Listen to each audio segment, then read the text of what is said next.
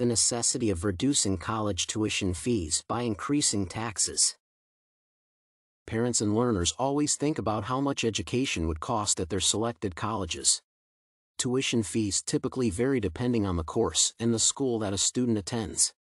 However, tuition costs keep rising due to the massive number of individuals competing for a college degree higher enrollment rates have resulted in an increase in grant and loan programs and a need to boost campus and faculty operations budgets.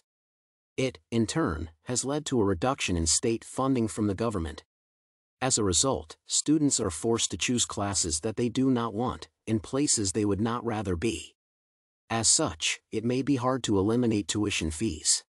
This essay seeks to explain why it is necessary to raise taxes to lower college tuition by looking at various viewpoints in support of and against the suggestion. Currently, it is almost impossible to attend any college of one's choice because of financial restraints.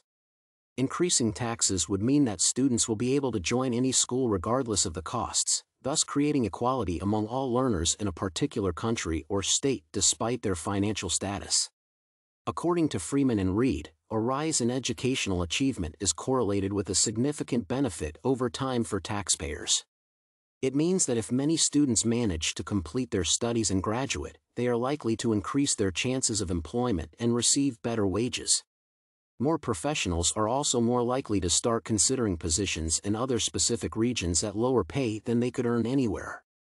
Therefore, an increased labor force in specific regions makes it cheaper and more accessible for businesses to find skilled employees and lower employment creation costs. The other outcome is a reduction in student college debts. According to Bartel, on average, most American students usually graduate with significant sums of debt, thus impeding their likelihood of working in their dream jobs or organizations. In short, the huge debts often lead to a negative impact on the graduates' financial lives in different ways, such as disqualification for specific posts.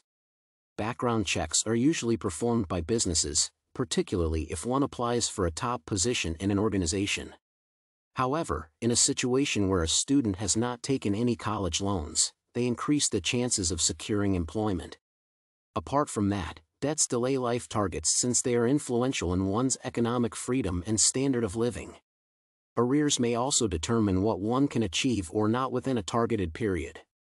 In the end, a qualified person may be forced to consider venturing into a different career, which does not align with his or her educational credentials to survive instead of gaining satisfaction. To curb this, it is necessary to increase taxes to avoid college tuition outstanding balances. No doubt reduced college tuition fees may increase the appetite and passion for education because of affordability.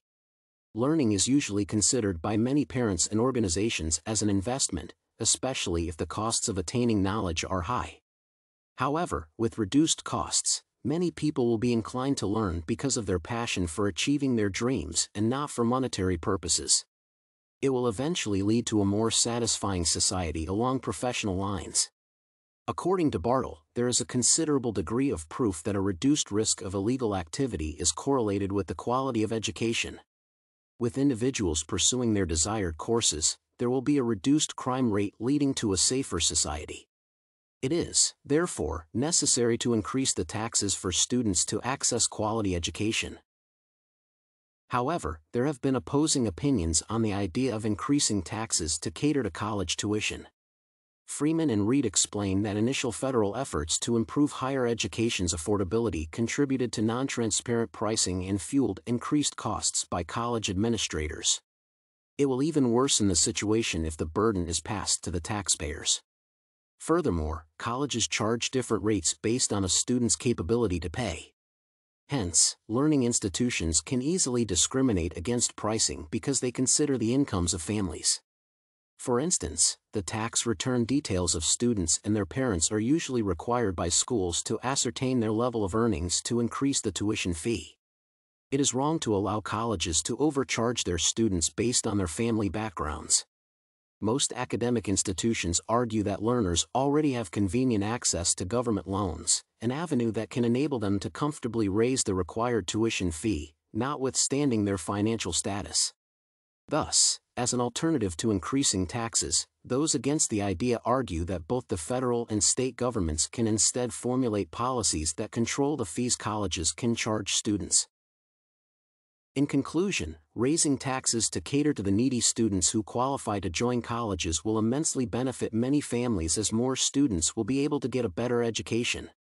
Therefore, educational experts and other concerned agencies should formulate policies that will ensure that all students join their desired colleges and universities to fulfill their dreams.